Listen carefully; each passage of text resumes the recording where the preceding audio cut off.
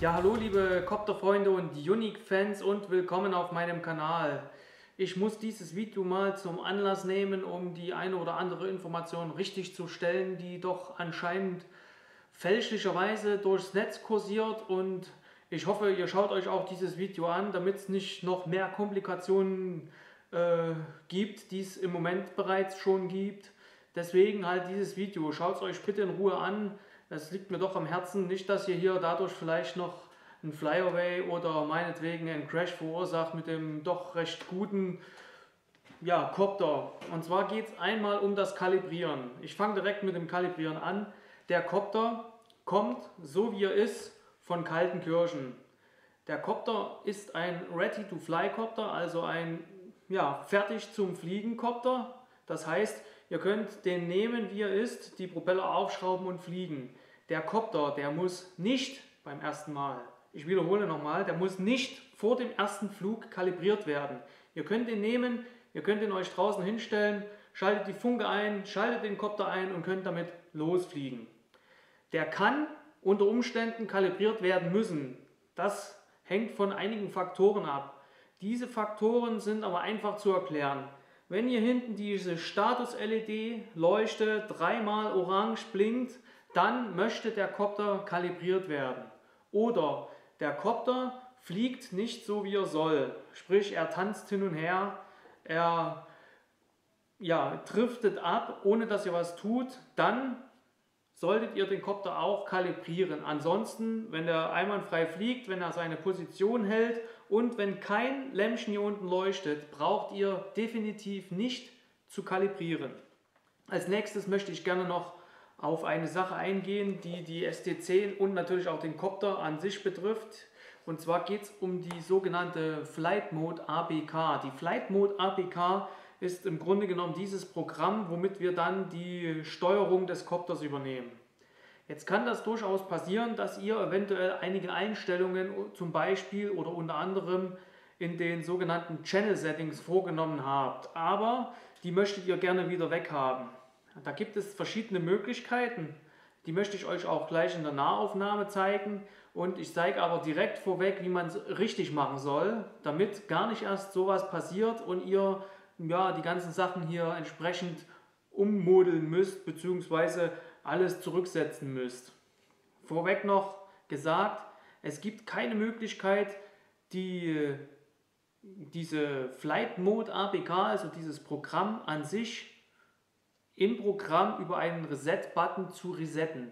Das ist auch so gewollt, dass man das nicht kann, um das fälschlicherweise versehentlich zu machen.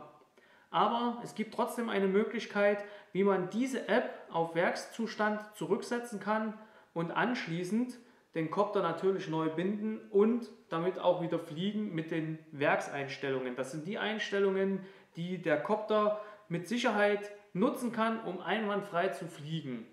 Dafür schalte ich aber natürlich in die Nahaufnahme und zeige euch das auf der SD16, wie das funktioniert. So, jetzt hier in der Nahaufnahme möchte ich euch zuallererst einmal zeigen, was ihr bitte tun solltet, wenn ihr wirklich den Kopter gerade eben bekommen habt und ihr den jetzt sozusagen ja, nutzen könnt zum Fliegen. Als allererstes würde ich euch empfehlen, ein neues Modell anzulegen. Einfach aus dem Grund, damit ihr das Modell, was jetzt schon eingepflegt ist, als Werkseinstellungsmodell nutzen könnt und dann immer wieder mit diesem Modell entsprechend arbeiten könnt, um eure persönlichen Veränderungen vorzunehmen und falls irgendetwas nicht so richtig funktioniert, einfach schlicht und ergreifend auf die Werkseinstellungen zurückgreift. Dazu gehen wir auf Model Setting, und äh, schauen uns an und wir sehen hier dieses Modell. Das ist das Werkseinstellungsmodell, was bereits eingepflegt ist und mit dem ihr sofort arbeiten könnt. Ihr seht hier dieses eine einzige Modell, was bereits eingepflegt ist. Das ist im Grunde genommen euer Werkseinstellungsmodell. Ja, davon würde ich euch empfehlen, eine Kopie zu machen. Um diese Kopie zu machen, müsst ihr einfach äh, zwei Sekunden draufklicken und hier erscheint einmal so eine kleine äh, möglich oder Übersicht der Möglichkeiten, die ich habe. Ich kann allerdings hier nichts editieren und nichts löschen. Also dieses Modell wird immer bestehen bleiben. Von diesem Modell, da es ja ein Werkseinstellungsmodell ist, könnt ihr eine Kopie anlegen. Diese Kopie habt ihr ja jetzt hier und auch diese Kopie könnt ihr jetzt verändern. Das würde ich euch empfehlen, da meinetwegen äh, einen anderen Namen auswählen, wie zum Beispiel ja, Copter. Ich nenne das jetzt einfach mal Copter, um das ein bisschen zu vereinfachen. Und das wäre dann das Modell, das muss ich jetzt auch speichern, mit dem ich entsprechend auch meine Veränderungen durchführe. Nachdem ich das ausgewählt habe, werde ich das, wird das automatisch übernommen und ich kann jetzt hier in dieser äh, Flight Mode APKs und dieser App entsprechend arbeiten. Das heißt, ich kann jetzt hier zum Beispiel verschiedene Einstellungen der sogenannten Channel Settings durchführen. Ich nehme einfach mal den äh, J1 hier. Ich kann mir noch mal kurz anschauen, welcher das ist. Wir sehen das hier, das ist dieser Joystick hier oben. Und wenn ich den jetzt entsprechend bearbeite unter Edit, habe ich jetzt die Möglichkeit hier verschiedenste Möglichkeiten, zum Beispiel hier einmal ja, die, äh, ja, wie sagt man, die Verarbeitung de, des entsprechenden Joysticks zu verändern und natürlich habe ich hier noch die Möglichkeit, das hier entsprechend umzubenennen. Ich mache das nur mal demonstrativ für euch. Dann nenne ich mal Joy als Joystick sozusagen. Zack, okay. Dann steht das hier oben auch. Und diese Einstellungen, die ich jetzt hier durchgeführt habe, würden theoretisch, wenn ihr das ja, Grundmodell nehmt und verändert, auch immer wieder so weiter kopiert. Ja? So, das möchte ich euch jetzt auch zeigen. Also wir sehen den ersten, den ersten äh, äh, ja, Button bzw. den Joystick haben wir hier verändert. Ähm, und jetzt möchte ich euch zeigen, wenn ich in Model Settings gehe und hiervon eine Kopie mache, von dem Copter, dann werden auch diese kompletten Einstellungen übernommen. Ich wähle den jetzt aus. Zack, jetzt bin ich hier wieder drin. Und wir schauen uns jetzt in den Channel Settings an, was passiert. Ihr seht das hier oben, das Joy steht weiterhin da und ihr seht auch hier, dass sich die entsprechende Kurve, hier kann man das ganz gut sehen, ja quasi mit übernommen hat. Das wollen wir natürlich nicht. Wir wollen ja, dass die Werkseinstellungen wieder für uns zur Verfügung stehen, aber dafür haben wir ja das allererste Modell, das hatte ich euch ja bereits hier erwähnt, gezeigt. Aber Jetzt kann es auch sein, der eine oder andere hat versehentlich mit diesem Modell hier gearbeitet, mit dem Werkseinstellungsmodell und möchte jetzt gerne ein neues Modell anlegen. Auch das würde nicht funktionieren. Auch da werden diese Einstellungen wieder einfach dazu kopiert und ihr habt eigentlich keine Möglichkeit, das hier über dieses Programm zu verändern. Jetzt kommen wir aber dazu, wie kann ich jetzt das komplette Programm, diese App hier auf Werkseinstellungen zurücksetzen. Dafür gibt es jetzt nur einen Weg, da müssen wir einen kleinen Umweg nehmen. Und zwar müssen wir aus dieser App heraus auf das Android-System gehen, indem wir auf, einfach auf Pad klicken.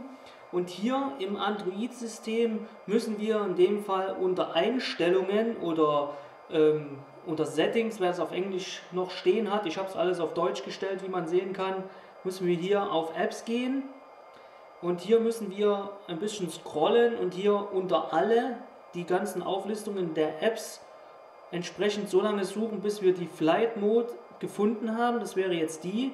Und jetzt gehen wir hier in diese App. In dieser App haben wir jetzt hier die Möglichkeit, einmal die Daten zu löschen, den Cache zu leeren oder auf Standard zurücksetzen. Und da würde ich euch empfehlen, auf Standard zurücksetzen. Dann dürft ihr aber gleich nicht erschrecken, das zeige ich euch alles jetzt, wie das funktioniert. Wenn ihr auf Standard zurücksetzt, werden alle Daten hier gelöscht und im Grunde genommen gibt es hier nur noch das, was von Anfang an zur Verfügung steht und das zeige ich euch jetzt. Und wenn ihr jetzt auf Flight Mode klickt, also die App wieder startet, dann wie gesagt nicht erschrecken.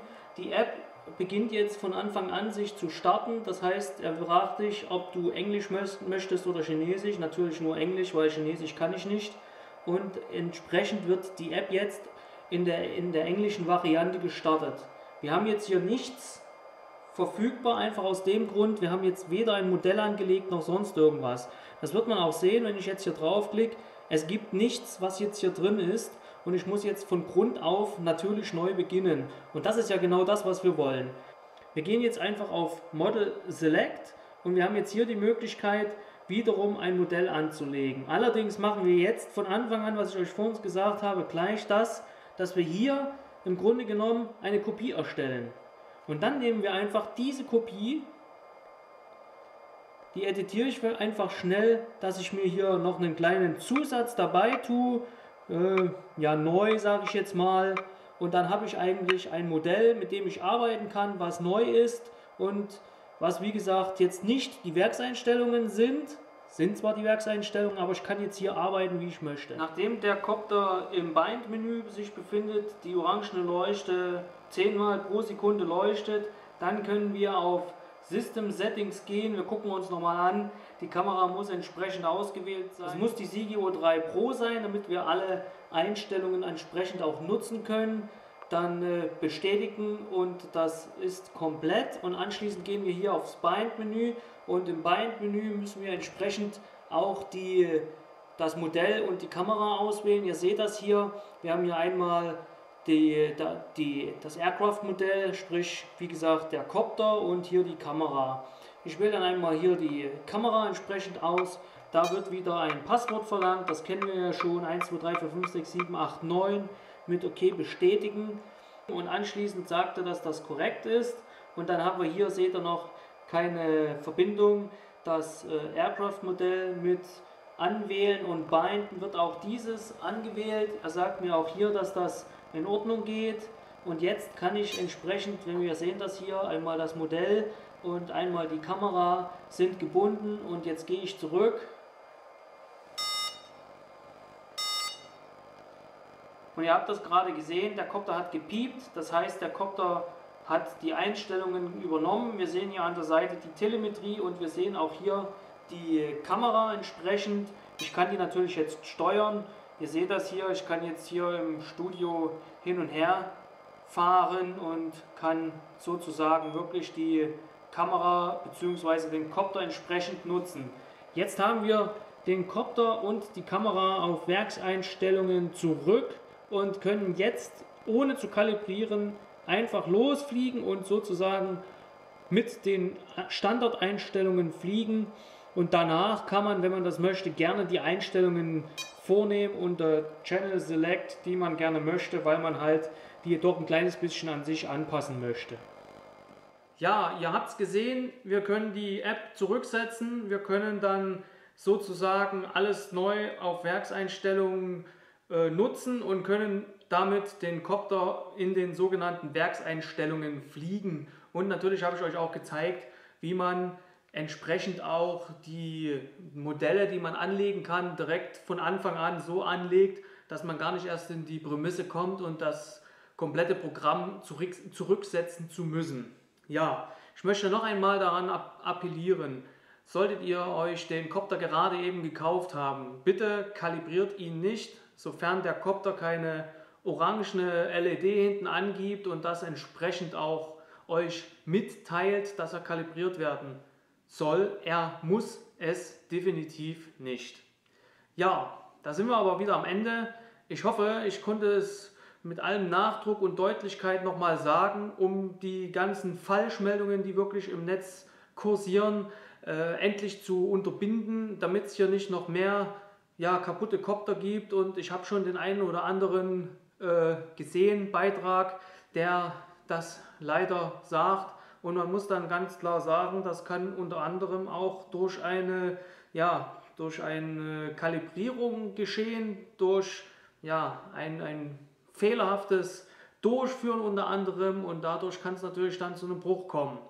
Ich hoffe, ich habe alles gut erklärt und ich hoffe, ihr schaut euch wirklich vorher an, das Video. Das liegt mir am Herzen, damit dieser tolle Kopter hier nicht ja, durch eine Unachtsamkeit, durch eine fälschlicherweise äh, gemachte Kalibrierung eventuell ja, das Zeitliche segne. Das möchte ich persönlich nicht, weil das macht doch echt viel Spaß, damit zu fliegen und es muss definitiv nicht sein. Trotzdem nochmal an der Stelle, schaut auf meiner Facebook-Seite vorbei, das wäre unique.fans. Hinterlasst auch gerne einen Kommentar, wenn ihr möchtet und ich schließe damit das Video, sage nochmal Tschüss, Goodbye und ohne Kalibrierung weiterfliegen. Ciao!